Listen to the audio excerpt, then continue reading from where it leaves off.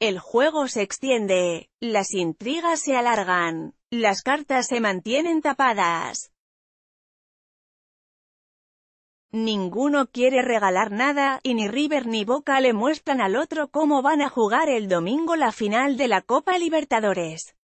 En su anteúltima práctica antes de la gran final en el Santiago Bernabéu, Marcelo Gallardo siguió con las escondidas y mantuvo la incógnita sobre la formación del millonario, con una duda táctica y también de nombres. Es que tampoco hay demasiado por ocultar, para ser honestos. Se sabe bien que ambos equipos tienen una base bien definida de jugadores que serán titulares y las dudas en el equipo de Núñez es una sola. Pero, vayamos por partes. Gallardo ha sorprendido con diferentes esquemas en los últimos partidos. Sobre todo, en los superclásicos. Por ahora, el DT mantiene las pruebas con la línea de cinco defensores y con un 4-4-2 más tradicional.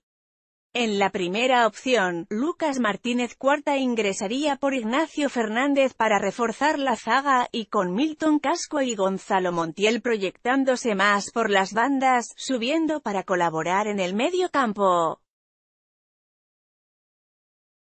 Suma un defensor y suelta a sus laterales. La segunda variante le da ingreso a Nacho Fernández por Martínez Cuarta.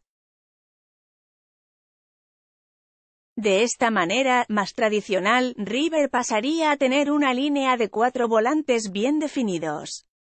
En caso de la primera opción, River formaría con Franco Armani, Montiel, Jonathan Maidana, Martínez Cuarta, Javier Pinola y Casco. Encho Pérez y Poncio, Ezequiel Palacios y Gonzalo Martínez, y Lucas Prato.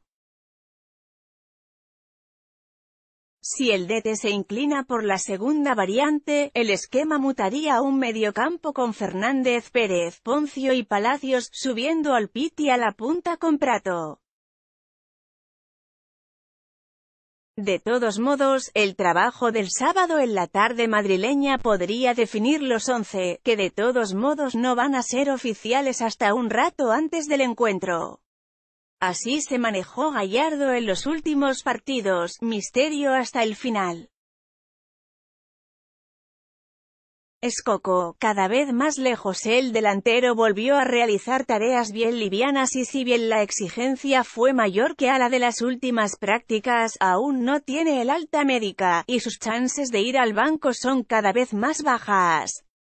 En una etapa del entrenamiento que se llevó a cabo en el campo deportivo del Real Madrid en Valdebebas, Gallardo sorprendió en los trabajos de definición y ubicó al juvenil Julián Álvarez junto a Prato en la ofensiva, lo que podría ser una alternativa para el segundo tiempo.